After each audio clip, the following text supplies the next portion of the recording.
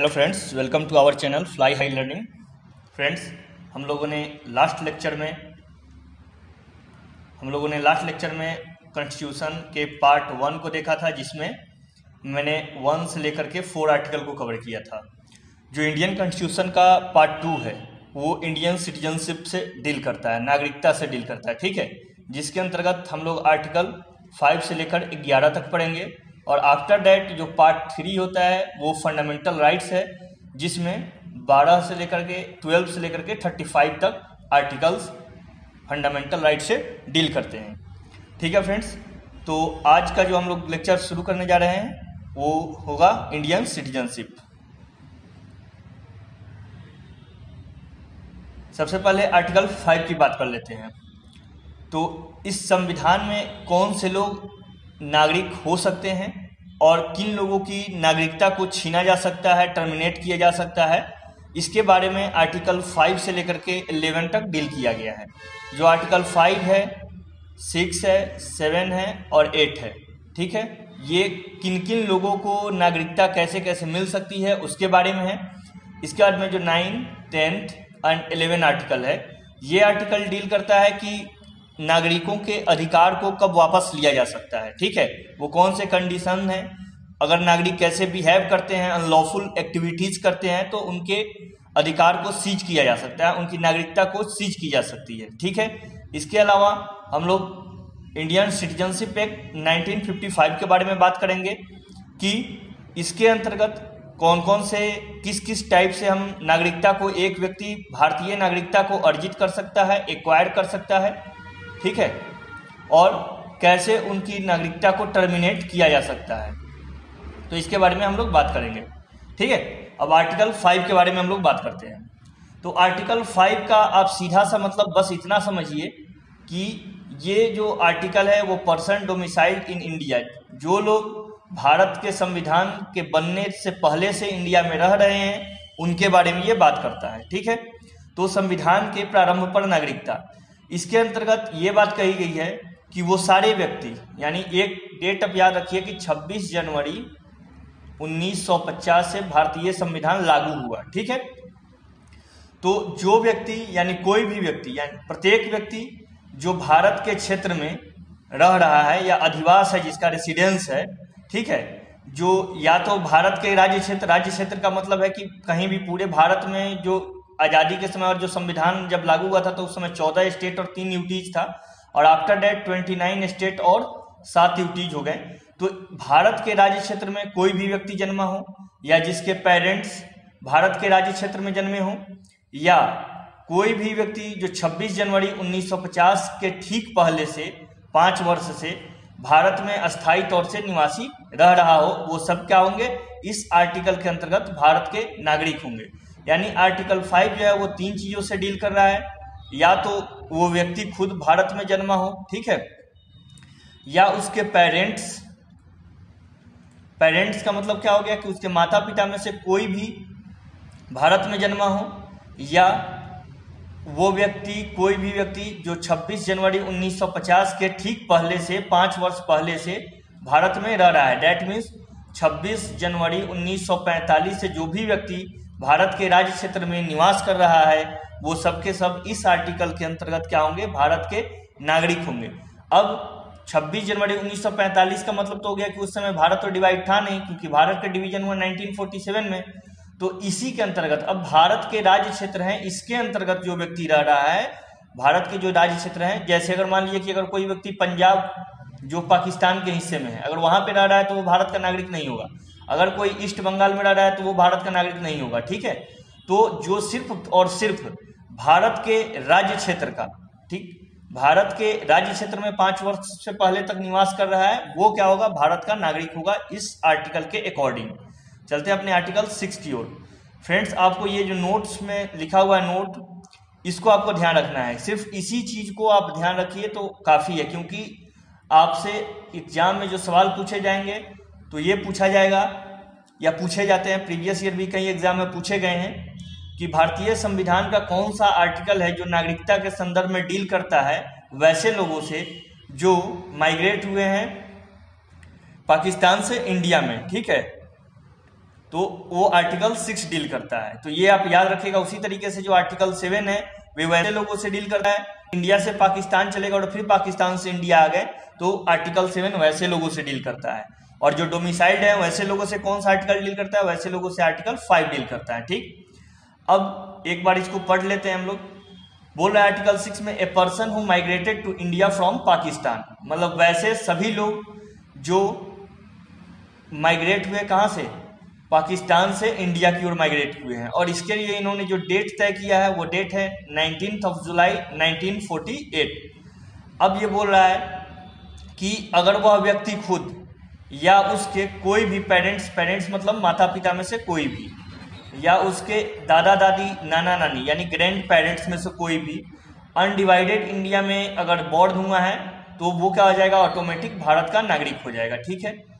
इसके अलावा दो शर्तें और हैं। अगर कोई व्यक्ति ये शर्त को पूरा नहीं करता अगर ये शर्त पूरा करता है, तब तो वो ऑटोमेटिक भारत का नागरिक हो जाएगा। लेकिन अगर ये शर्त पूरा नहीं करता है तो दो शर्त और हैं। अगर कोई व्यक्ति नाइनटीन ऑफ़ जुलाई 1948 से पहले भारत आ गया है, ठीक? और मामूली रूप से मतलब कि भारत में रह रहा है, निवासी के तौर पर रिसाइड्स कर रहा है, रह रहा है तो वो क्या हो जाएगा? भारत का नागरिक हो जाएगा। लेकिन अगर कोई व्यक्ति नाइनटीन ऑफ़ जुलाई 1948 के बाद आया है भारत में, ठीक है? क्योंकि इस समय तक इंडिया डिवाइड हो चुका था। अब इसके बाद अगर कोई व्यक्ति आया है तो उसको यहाँ पर कंडीशन ये है कि सिक्स मंथ पहले रहना पड़ेगा और उसके बाद वो क्या होगा कि एक रजिस्ट्रेशन रजिस्ट्रेशन फॉर्म भरेगा और उसके बाद वो क्या होगा सिटीजन ऑफ़ इंडिया हो जाएगा। तो कंडीशन यही है कि जब वो रजिस्ट्रेशन फॉर्म को फिलअप कर रहा हो, उससे पहले छः मंथ तक वो भारत में रह चुका हो। तो ये डेट याद रखिएगा, क्योंकि ये जो डेट है 19 जुलाई 1948 इससे पहले और बाद में ये डील करता है। मतलब कि अगर 19 जुलाई 1947 से अगर पहले आ करके भारत में रह रहा है तो सिर्फ़ यहाँ पर रह रहा है तो ही वो भारत का नागरिक हो जाएगा। लेकिन अगर इसके बाद आया है तो उसको पहले सिक्स मंथ रहना पड़ेगा और उसके बाद में रजिस्ट्रेशन रजिस्ट्रेशन के थ्रू वो भारत का नागरिक हो सकता है। ठीक है फ्रेंड उम्मीद करता हूँ कि आप समझ गए होंगे। चलते अपने नेक्स्ट आर्टिकल की ओर। नेक्स्ट आर्टिकल है आर्टिकल सेवन सबसे पहले तो आप ये ध्यान रखिए कि ये जो आर्टिकल है, ये वैसे व्यक्तियों से डील करता है जो पहले माइग्रेट हुए पाकिस्तान में और फिर वहाँ से इंडिया में वापस आ गए, ठीक है? तो ये कैसे लोग मतलब कि a person migrated to Pakistan but later return ठीक है? पहले तो पाकिस्तान गए, लेकिन वहाँ फिर मन नहीं लगा, या कारण जो भी मन लगा हो, या वहाँ से मारपीट कर भगा दिया गया हो क्योंकि उस समय बहुत सारी समस्याएँ चल रही थी। दोनों देशों के बीच इंटरनल मैटर काफ़ी ख़राब थे इंटरनल रिलेशन हालाँकि आज भी दोनों देशों के बीच रिलेशन उतने बेहतर नहीं है, लेकिन उस समय बदतर थे। ठीक है? तो इसीलिए इस आर्टिकल को इंक्लूड किया गया इंडियन कॉन्स्टिट्यूशन में आर्टिकल सेवन के अंतर्गत। अब ये क्या कहता है कि कोई भी व्यक्ति अगर एक मार्च उन्नीस के बाद पाकिस्तान गया, ठीक है? एक मार्च उन्नीस को उसको ध्यान रखिएगा। कि एक मार्च उन्नीस सौ सैंतालीस के बाद पाकिस्तान गया और उसके बाद फिर इंडिया वापस आ गया, ठीक है? रिसिटल तो उसका क्या है? रिसिटलमेंट हो सकता है इंडियन सिटीजन के तौर पे।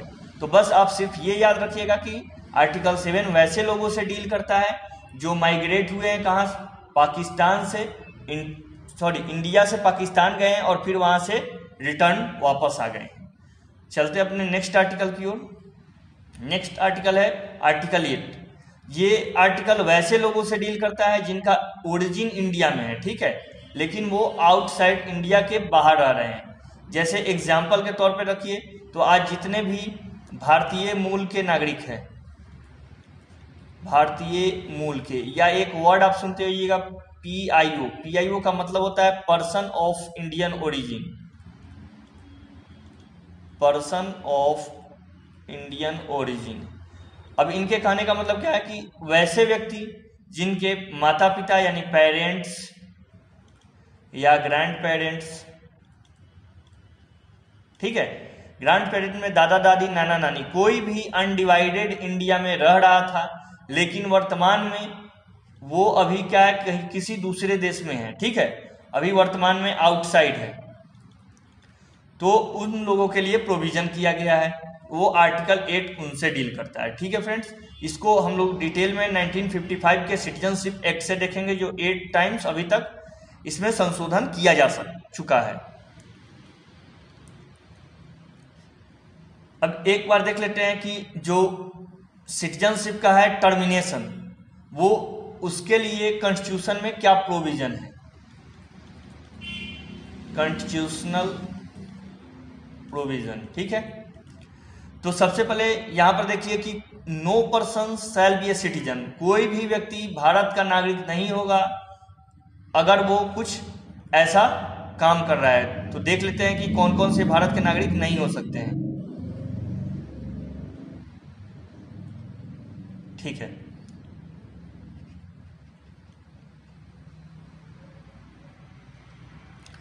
अगर वो वॉलेंट्री एक्वायर्ड अगर अपनी मर्ज़ी से वो किसी दूसरे देश की सिटीजनशिप को धारण करता है तो वो भारत का नागरिक ऑटोमेटिक नहीं होगा, ठीक है? तो ये इस आर्टिकल से कौन डील करता है? वो आर्टिकल नाइन इससे डील करता है कि अगर कोई भी व्यक्ति अपनी मर्ज़ी से वॉलेंट्री अगर दूसरे देश के सिटीजनशिप को धारण करता है तो वो व्यक्ति भारत का नागरिक नहीं होगा। या वैसा कोई भी व्यक्ति, ठीक है, भारत का सिटीजन नहीं होगा जो अगर कोई पार्लियामेंट, अगर कोई लॉ बनाती है और उसके अंतर्गत वो उससे बाहर हो जाता है, ठीक? तो उसके अंतर्गत अगर पार्लियामेंट द्वारा बनाए गए लॉ के अंतर्गत वो भारत का नागरिक नहीं है तो भी वो क्या होगा? भारत का नागरिक नहीं होगा।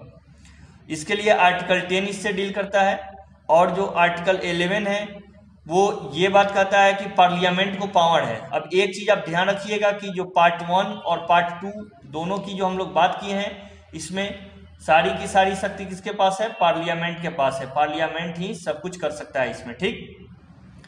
तो पार्लियामेंट के पास पावर है कि अगर कोई वो नया कानून बनाता है एक्विजिशन के लिए मतलब कि सिटीजनशिप के एक्विजिशन के लिए या टर्मिनेशन के लिए, ठीक है? तो वो सारा का सारा पावर किसके पास है? पार्लियामेंट के पास है। डेट मीन्स कह सकते हैं कि नागरिकता का जो अधिग्रहण या इक्विजिशन या नागरिकता का परित्याग या टर्मिनेशन, दोनों को के लिए नया नियम बनाने की जो शक्ति है वो पार्लियामेंट की है। ठीक है? इससे डील करता है आर्टिकल 11 इसको ध्यान में रखिएगा। चलते हैं अपने नेक्स्ट आर्टिकल की ओर। अब सबसे पहले तो एक चीज़ आप यही जान लीजिए कि भारत के कोई पर्सन अगर आता है, मान लीजिए कि अभी बहुत दिन से एक व्यक्ति हैं नाम उनका मैं अभी तारिक फतेह।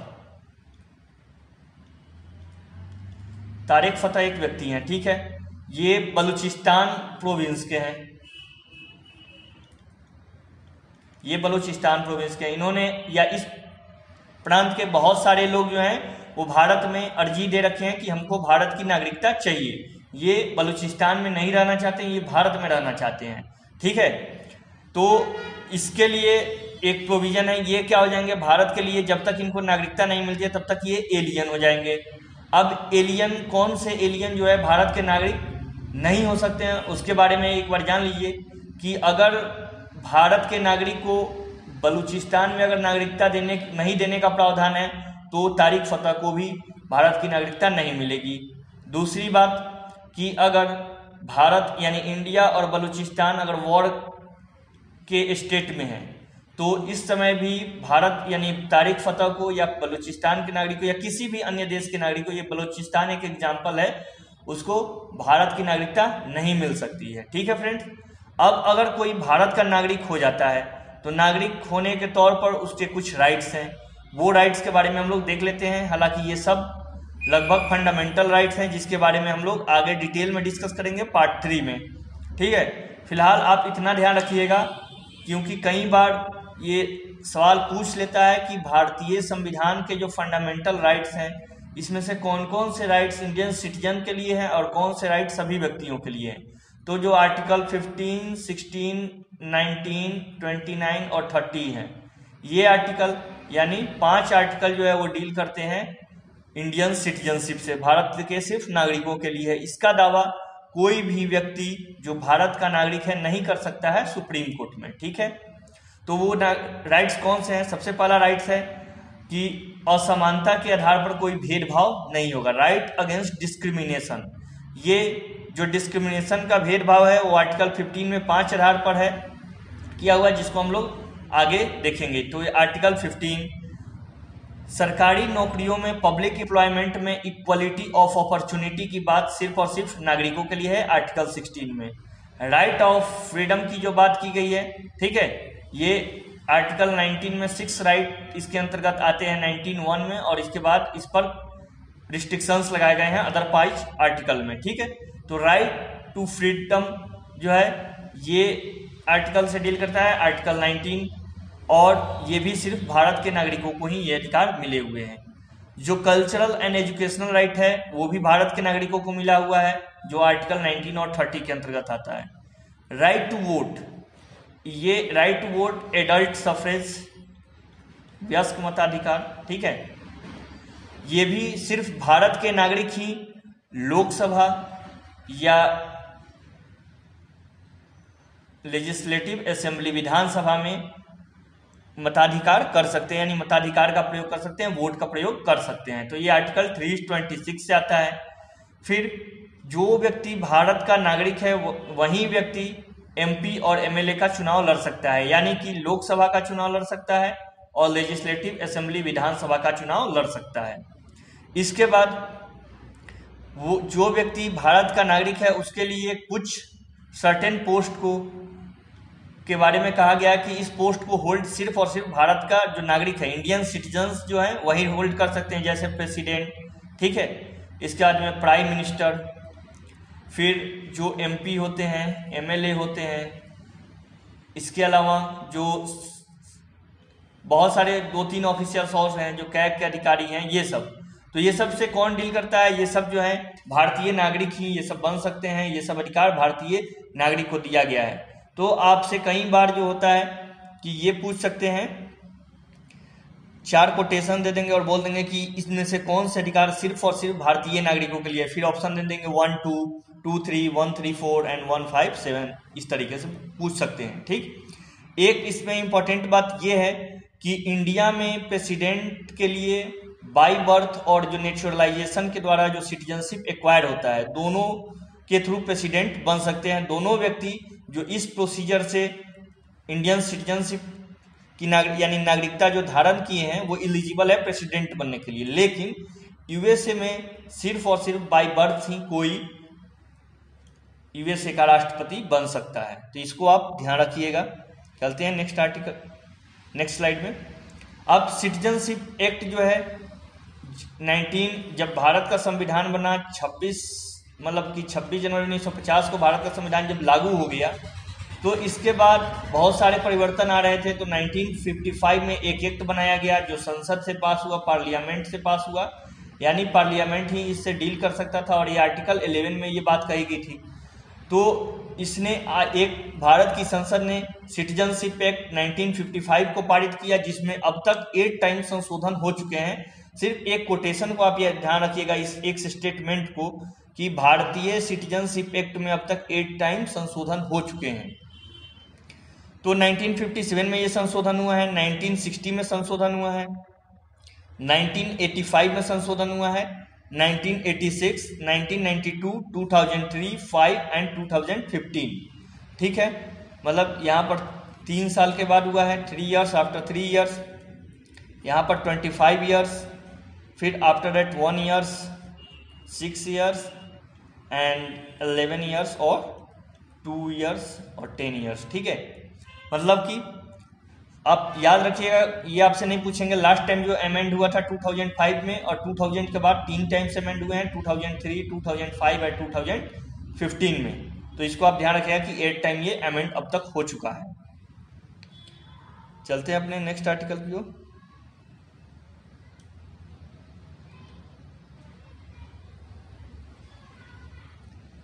अब जो 1955 का जो एक्ट है, ठीक है, सिटीजनशिप एक्ट 1955 ठीक? इसमें कुछ इंपॉर्टेंट प्रोविज़न किए गए हैं एक्विजिशन ऑफ़ सिटीजनशिप के लिए। यानी ना इसके लिए जो हिंदी में वर्ड आएगा, वो आएगा नागरिकता का अधिग्रहण, कि कैसे नागरिकता का अधिग्रहण किया जा सकता है, ठीक? तो जन्म के आधार पर बाई इसमें पाँच तरीके का वर्णन है। पहले तो आप यही याद रखिए कि फाइव वेज हैं। ये वेज हैं बाई बर्थ बाई डिसेंट यानी वंश के आधार पर बाई रजिस्ट्रेशन फिर naturalization and incorporation of territory ठीक? अब देखते हैं कि बाई बर्थ के आधार पर क्या है। ये कहता है कि अगर कोई भी व्यक्ति 26 जनवरी 1950 के बाद भारत के राज्य क्षेत्र में पैदा हुआ है तो वो भारत का नागरिक होगा बाई बर्थ ठीक है? लेकिन कोई भी व्यक्ति जो एक जुलाई 1987 यानी फ़र्स्ट ऑफ़ जुलाई 1987 से पहले भारत में पैदा हुआ है। तो इसके लिए ज़रूरी है कि उसके पेरेंट्स से कोई एक, ठीक है? पेरेंट्स में से कोई एक भारत का नागरिक होना चाहिए, तब वो व्यक्ति भारत का नागरिक होगा। जो थर्ड बात है, वो ये है कि अगर कोई व्यक्ति थर्ड ऑफ़ दिसंबर 2004 के बाद पैदा हुआ है तो इसके पेरेंट्स ठीक है? और जो इसके, ये खुद है हिमसेल्फ ठीक है? इन दोनों के लिए ज़रूरी है कि वो भारत, स्वतंत्र भारत में पैदा हुआ हो। समझे? तो इस चीज़ को आप ध्यान में रखिएगा। इसके अलावा बाई बर्थ की बात करते हैं तो एक अपवाद स्वरूप एक्सेप्शन है कि जो हमारे यहाँ, अगर मान लीजिए कि अमेरिका का राजदूत है, ठीक है? अमेरिका की एम्बेसी है। तो अमेरिकन एम्बेसी का कोई बच्चा अगर भारत में पैदा होता है तो वो बाई बर्थ भारत का नागरिक नहीं होगा। और एक चीज़ तो आप ये भी जान लीजिए कि जो अमेरिकन एम्बेसी है, वो अमेरिका के राज्य क्षेत्र के अंतर्गत आता है, ना कि भारत के राज्य क्षेत्र के अंतर्गत, ठीक है? उसी तरीके से भारत के जितने भी जगह पर एम्बेसी है, वो वहाँ पर वो भारत के राज्य क्षेत्र के अंतर्गत आता है। ऐसा ये एक ट्रीटी किया गया है, ऐसा एक समझौता है, इन समझौते के तहत ये ऐसा होता है। लेकिन ये कब होता है? जब वार स्टेट नहीं हो उन दोनों देश के बीच में, तभी। ठीक? तो उसको याद रखना है कि जो कौंसुल के बच्चे होते हैं, यानी जो एम्बेसी के बच्चे होते हैं, वो अगर बाई बर्थ यहाँ पर पैदा होते हैं दूसरे देश के तो वो यहाँ के नागरिक ना होंगे। तो इतना बात आप ध्यान रखिएगा। ठीक है? अब आगे चलते हैं कि वंश के आधार पर कौन से लोग हैं जो भारत के नागरिक हो सकते हैं। तो एक बात तो आप ये याद रखिए कि कोई भी व्यक्ति जो 26 जनवरी 1950 से के बाद पैदा हुआ हो, ठीक है? लेकिन टेंथ ऑफ़ दिसंबर 1992 के पहले पैदा हुआ हो, ठीक? भारत के राज्य क्षेत्र में। तो वो क्या हो जाएगा? भारत का नागरिक होगा, वंश के आधार पर, ठीक है? वंश के आधार पर। लेकिन कोई भी व्यक्ति जो टेंथ ऑफ़ दिसंबर 1992 के बाद पैदा हुआ हो, यहाँ पर ये आफ्टर पैदा हुआ हो, लेकिन तीन दिसंबर 2004 से पहले पैदा हुआ हो ठीक है, यहाँ पर बिफोर रख लीजिए। तो उसके लिए ज़रूरी है कि इसके जो पेरेंट्स हैं, उन पेरेंट्स का भी भारत में पैदा होना ज़रूरी है। यानी भारत में उनका भी जन्म हुआ हो, उनके माता पिता का जन्म भी भारत में हुआ हो। अगर कोई व्यक्ति थर्ड ऑफ़ दिसंबर 2004 के बाद अगर भारत में पैदा हुआ है, ठीक तो फिर वही बात है कि इसके पेरेंट्स और उसको खुद को भारत का नागरिक होना चाहिए हो होगा वो, ठीक है? तो इसको आप ध्यान रखिएगा। इसमें दो डेट इंपॉर्टेंट है। 26 जनवरी 1950 और टेंथ ऑफ़ दिसंबर 1992 एक जुलाई की जो बात है, वो है आपको बाई बर्थ में और जो टेंथ ऑफ़ दिसंबर की बात है और थर्ड ऑफ़ दिसंबर की बात है, वो है आपको डिसेंट में। इसको ध्यान में रखना है। फिर बाई रजिस्ट्रेशन अगर कोई भी व्यक्ति रजिस्ट्रेशन के लिए अप्लीकेशन करता है और वो उससे पहले अप्लीकेशन से पहले भारत में छः माह तक स्थायी निवास कर रहा है तो एक, इसके बाद तो ये रजिस्ट्रेशन करेगा और उसके बाद अगर भारत की सेंट्रल गवर्नमेंट इसको अप्रूव करती है या संसद इसको मान लेती है तो वो क्या हो जाएगा? भारत का नागरिक हो जाएगा। इसके लिए कुछ प्रोविज़न है, वो उतने इंपॉर्टेंट नहीं है। नेचुरलाइजेशन के थ्रू कौन हो सकता है? कि अगर कोई व्यक्ति एप्लीकेशन दिया है सर्टिफिकेट दिया कि मेरे नेचुरलाइजेशन के सर्टिफिकेट को मान लिया जाए तो भारत सरकार या सेंट्रल गवर्नमेंट अगर उसको एक्सेप्ट कर लेती है तो उसके बाद वो भारत का नेचुरल नागरिक हो जाएगा और ये राष्ट्रपति के चुनाव में भाग ले सकता है। तो ध्यान रखिएगा कि बाई बर्थ जो है और बाई नेचुरलाइजेशन ये दोनों जो है प्रेसिडेंट के इलेक्शन में भाग लेते हैं। प्रेसिडेंट के इलेक्शन के मतलब क्या है कि ये कॉन्टेस्ट बन सकते हैं, प्रत्याशी बन सकते हैं प्रेसिडेंट इलेक्शन का। इनकॉर्पोरेशन ऑफ़ इंडियन टेरिटरी अब अगर भारत, मान लेते हैं कि भारत को गुस्सा आ गया, ठीक है? और इसका मूड खराब हुआ और क्या हुआ? लाहौर तक अपना, जैसे हम लोग कारगिल में लाहौर तक पहुँच गए थे। तो अगर भारत का सब कुछ ठीक ठाक होता तो लाहौर को अगर ले लेता तो लाहौर तक जो लोग थे, वो सब खुद के खुद क्या हो जाते, भारत के नागरिक हो जाते, उनको किसी भी चीज़ की ज़रूरत नहीं पड़ती, ना तो ये प्रोविज़न की ज़रूरत पड़ती, ना रजिस्ट्रेशन की, ना नेचुरलाइजेशन की। तो अगर भारत विदेश की कोई भी टेरिटरी इंडिया पाकिस्तान अफ़गानिस्तान बांग्लादेश किसी की भी टेरिटरी को अधिग्रहण कर लेता है इनकॉर्पोरेट कर लेता है तो उसके बाद वहाँ के नागरिक खुद भारत के नागरिक हो जाएँगे। जैसे उन्नीस सौ बासठ में जब पुद्दुचेरी को फ्रांस ने आज़ाद किया तो उस इनके जो नागरिक थे, वो सबके सब भारत के नागरिक हो गए। चलते अपने नेक्स्ट स्लाइड की ओर। अब जो है कि सिटीजनशिप का लॉस कैसे होगा? कोई तो ये भी जो प्रोविज़न है, ये भी लिया गया है एक्ट ऑफ़ 1955 के एक्ट से लिया गया सिटीजनशिप एक्ट 1955 सबसे पहले तो यही है कि रिनाउंसिएशन रिनाउंसिएशन का मतलब होता है, अगर हिंदी में बात करें तो इसका मतलब होता है स्वेच्छा से त्याग, इसी को बोलते हैं परित्याग। जो चीज़ स्वेच्छा से छोड़ी जाती है, उसको बोलते हैं परित्याग। त्याग और परित्याग में अंतर होता है, ठीक है? अब देखिए रिनाउंसिएशन का मतलब क्या है? कि अगर कोई व्यक्ति फुल एज और कैपेसिटी का है फुल एज का मतलब हो गया कि 18 इयर्स का है, होशो हवास में और कैपेसिटी का मतलब क्या हो गया? कि अपने होश में है, कोई ज़बरदस्ती नहीं है। होश में है और कोई जबरन इससे नहीं करवाया जा रहा है, ठीक है? तो वो व्यक्ति खुद ये घोषणा कर सकता है कि मैं इंडियन सिटीजनशिप को रिनाउंस कर रहा हूँ और उसके जितने भी छोटे बच्चे हैं तो उस समय तो वो भारत की नागरिकता उसके साथ उसकी चली जाएगी।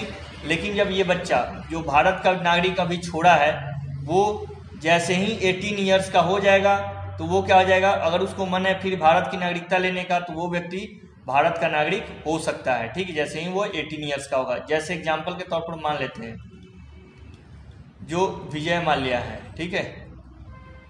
अभी तो ये फ्यूजिटिव केस में फ्यूजिटिव और इंडियन इंसॉल्वेंसी केस तो इसमें क्या है? ये संलिप्त है तो ये क्या है? भगोड़ा है या आरोपी हैं एक्यूज हैं। लेकिन अगर विजय माल्या, मेहुल चौकसी, इन सबको ये अपने होशो हवास में भी हैं और एटीन ईयर से ज़्यादा के हैं, इनको अगर मन करता है कि भैया हम भारत के नागरिक नहीं रहेंगे, हम भारत की नागरिकता का परित्याग करते हैं तो ये क्या होंगे, भारत के नागरिक नहीं रहेंगे, ठीक है?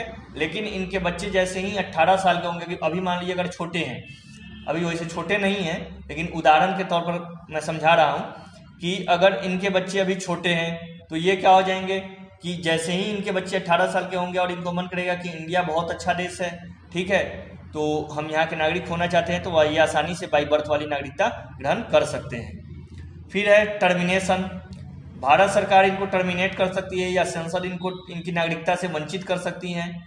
अगर ये कैसे हो सकता है कि अगर कोई व्यक्ति किसी दूसरे देश का पासपोर्ट अगर रखे हुआ है या दूसरे देश की नागरिकता खुद धारण करता है तो ऑटोमेटिकली ये क्या हो जाएगा? टर्मिनेट हो जाएगा। अगर जैसे मान लीजिए कि मैं, जैसे मैं सेल्फ की बात मैं कर रहा हूँ, ठीक है?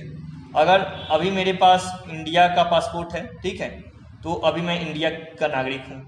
लेकिन कल को अगर परिस्थितियाँ बदलती हैं, या कुछ ऐसी घटनाएँ या अनहोनी होती है कि अगर अमेरिका या किसी, मान लीजिए कि नेपाल नेपाल के लिए नहीं, अमेरिका के लिए और या कि इंग्लैंड में। इंग्लैंड का पासपोर्ट अगर बन जाता है तो ऑटोमेटिक मैं इंडिया का सिटीजन नहीं रहूँगा, ठीक है? उसके लिए अलग से टर्म आते हैं पी ओ आई ओ सी आई तो ये सब आते हैं। तो लेकिन वो भारत का मूल नागरिक नहीं होगा, ठीक है? इसको ध्यान रखिए। चलते हैं नेक्स्ट स्लाइड की ओर। जो तीसरा है कि डिप्रीविएशन से, ठीक है? तो बाय डिप्रीविएशन उसका नागरिकता खत्म हो सकता है। तो ये कंपलसरी है सेंट्रल गवर्नमेंट के लिए कि कोई भी व्यक्ति अगर ये सब काम करता है, जैसे फ्रॉड से सिटीजनशिप को एक्वायर किया है, या डिजलॉयलिटी कॉन्स्टिट्यूशन यानी संविधान के प्रति जो है, वो लॉयल नहीं है अनलॉफुल ट्रेड करता है स्मगलिंग करता है रिस्पॉन्सिबल बिहेवियर करता है, ठीक है वॉर के समय में तो उस समय या पाँच साल अगर मान लीजिए कि कोई व्यक्ति रजिस्टर्ड सिटीजनशिप एक्वायर किया है रजिस्टर्ड या नेचुरलाइज और अपने पाँच साल के बाद या उस वो क्या है कि दो वर्ष के लिए जेल की सजा किसी अन्य देश में काट चुका है तो भी ये क्या होगा? भारत का नागरिक नहीं होगा। या अगर ये सामान्य रूप से इंडिया से बाहर सात साल तक लगातार रह गया, तब भी ये क्या होगा? भारत का नागरिक नहीं होगा। ठीक है तो ये सब प्रोविज़न याद रखिएगा कि अगर फ्रॉड से सिटीजनशिप एक्वायर किया हो, संविधान के प्रति डिजिलॉयल हो इरिस्पेक्टिव इरेस्पॉन्सिबल और अनलॉफुल बिहेव ट्रेड में संलग्न हो, इसके बाद में अगर उस दो साल की सजा पा चुका हो किसी और देश में या सात साल तक लगातार किसी और देश में है तो वो भारत के नागरिक से डिप्राइव हो जाएगा, वंचित हो जाएगा। चलते हैं अपने नेक्स्ट स्लाइड की ओर। ये हम लोग का लास्ट स्लाइड है, जिसमें हम लोग कुछ टर्म जो है हमेशा सुनते हैं, कि N R I P I O फिर ओ सी आई ठीक है? तो सबसे पहले तो यही जान लीजिए कि एन आर आई का मतलब होता है नॉन रेजिडेंट इंडियन ठीक है? पी आई ओ का मतलब होता है पर्सन ऑफ़ इंडियन ओरिजिन और ओ सी आई का मतलब होता है overseas citizen of India Hindi में अगर इसकी बात करें तो इसका मतलब होता है अनिवासी भारतीय। इसका मतलब होता है भारतीय मूल का नागरिक। भारतीय मूल का और इसका मतलब होता है समुद्र पारीय मतलब जो समुद्र के पार रहता है, ठीक है? तो एनआरआई कौन लोग होते हैं कि वो सभी व्यक्ति, वो सभी इंडियन सिटीजन जो ऑर्डिनरली जो है इंडिया से बाहर रह रहे हैं, वो व्यक्ति क्या होते हैं? एनआरआई कहलाते हैं, ठीक है? इनके पास पासपोर्ट होता है इंडियन पासपोर्ट होता है ये जब भारत आएँगे घूमने के लिए तो इनको किसी वीज़ा की ज़रूरत नहीं होगी और ये भारत के नागरिक ही होते हैं, ठीक है? इसके बाद जो है पीआईओ की बात कर लेते हैं। तो कौन लोग पीआईओ में आते हैं? पर्सन ऑफ़ इंडियन ओरिजिन तो ये इनकी नेशनलिटी जो होती है नेशनलिटी तो इंडियन होती है, और ये इनके पास फॉरेन पासपोर्ट होता है, ठीक है? इनको भारत आने के लिए वीज़ा लेनी पड़ती है और सात साल तक अगर ये भारत में रह जाते हैं तो उसके बाद ये भारत के नागरिक बन सकते हैं। ठीक है? अब इसके बाद जो ओसीआई में कौन लोग आते हैं? ओसीआई में वैसे लोग रहते हैं, जिनके पास एक ओसीआई कार्ड है। ठीक है? जो दिया गया है इंडियन सिटीजनशिप एक्ट 1955 के अंतर्गत और इसमें संशोधन हुआ 2015 में। इनको भारत आने के लिए कोई वीज़ा की ज़रूरत नहीं है। जब तक चाहें ये लीव लॉन्ग रह सकते हैं भारत में विदाउट वीज़ा के, ठीक है? और इसके बाद अगर इनको भारत की नागरिकता लेनी होती है तो ये 12 मंथ तक भारत में रहेंगे। इसके बाद में रजिस्ट्रेशन फॉर्म भरेंगे और रजिस्ट्रेशन के थ्रू ये क्या हो सकते हैं? भारत के नागरिक हो सकते हैं। ठीक है फ्रेंड्स तो आज के वीडियो में इतना ही। अगर आपको वीडियो अच्छा लगे तो चैनल को सब्सक्राइब कीजिए वीडियो को लाइक कीजिए कमेंट कीजिए, सुझाव दे सकते हैं और अपने दोस्तों के साथ शेयर कीजिए। क्यों बेल आइकन भी दबा लीजिए ताकि भविष्य में अगर कभी भी वीडियो आता है तो आपको आसानी से मिल जाए। और इसके अलावा फ्रेंड्स मैं पॉलिटी के बाद में जियोग्राफी को भी इसी तरीके से और मैप के थ्रू पूरे अच्छे से समझाऊँगा। तो आप चैनल को सब्सक्राइब कीजिए। तब तक अपना और अपनों का ख्याल रखिए।